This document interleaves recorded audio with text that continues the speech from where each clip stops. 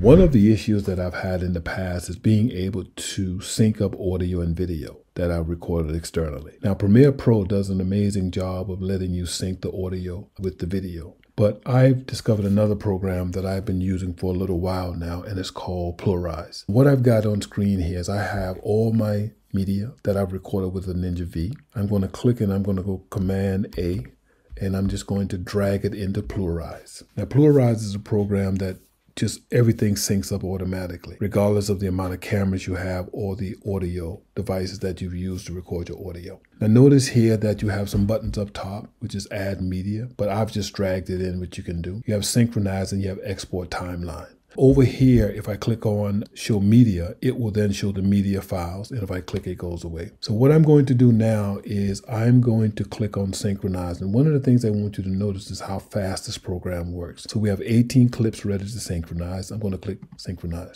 and that's it. That's right. You saw it. That's it. So now what happens is all the red files here are files that they don't need to be used. They're no good. And then the blue files here, the audio and the video files, is what's been synced up at the right time. So now if I go down to, if I click on media and if I click play here, you can actually see some of the media down here that's going to play before I got started. If I then come up now and click on the export timeline, I have the option of choosing save file to. So I'm going to come over and save it to a folder here, leave it with the same name. And now the beauty of this program is that I have the ability to create a sequence with the audio replace. Now the audio is going to replace is the audio from the camera that was taken and replace it with the audio that I recorded externally on the Zoom H6n. So if I click export, and that's it. Now notice down here that I have the XML file. So what we're going to do now is we're going to open Premiere Pro and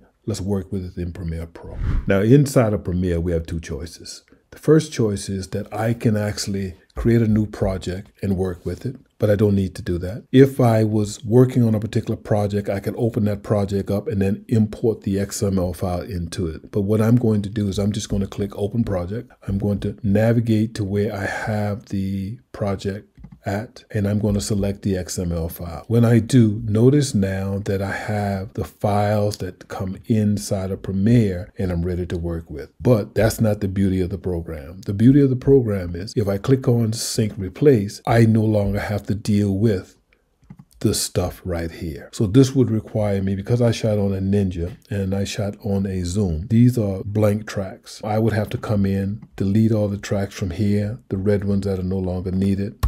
I would then have to come over here and select all that, then unlink them. But that's unnecessary because the beauty of PluralEyes is that it actually puts all the files into a sequence that has the good audio in it. I hope this video was of use to you.